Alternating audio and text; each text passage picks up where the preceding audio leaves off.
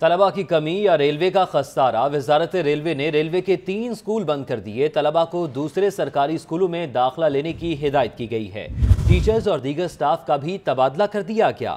اس حوالے سے مزید تفصیلات سے آگاہ کریں گے۔ رانا فہد ہمارے ساتھ موجود ہیں۔ رانا فہد، بتائیے گا، کیا وجہ بنی؟ ریلوے کی جانب سے تین سکول بند کر دیے گئے۔ جی بالکل، وزارت ریلوے کی جانب سے جو ہے وہ یہ ہدایات کی گئی ہیں اور ریلوے انتظامیہ کی جانب سے ریلوے کے تین سکولوں کو بند کیا گیا ہے۔ اس میں ایک سکول جو ہے وہ مڈل ہے اور دو سکول جو ہے وہ ہائی سکول ہے۔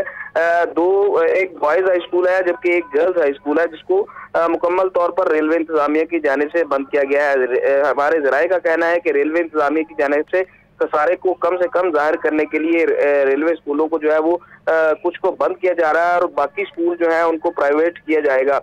جبکہ ریلوے انتظامیہ کا کہنا ہے کہ سکولوں میں جو ہے وہ بچوں کی تعداد بہت کم تھی، جس کی وجہ سے ان کو جو ہے وہ بند کیا گیا۔ جو سکول بند کیے گئے ان میں Pakistan railway girls middle school, new garden, railway boys high school, Kotri اور railway boys high school Pipri جو ہے وہ شامل ہے۔ جبکہ سکول میں زیر تعلیم بچوں کو دوسرے سرکاری اسکولوں میں داخلہ لینے کی ہدایات بھی جاری کی گئی ہیں، جبکہ اسکولوں میں ٹیچر اور دیگر سٹاف کا بھی جو ہے وہ تبادلہ کر دیا گیا ہے۔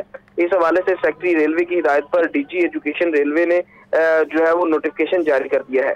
جی۔ بہت شکریہ۔ آپ کا رانا فہد تفصیلات سے آگاہ کرنے کے لیے۔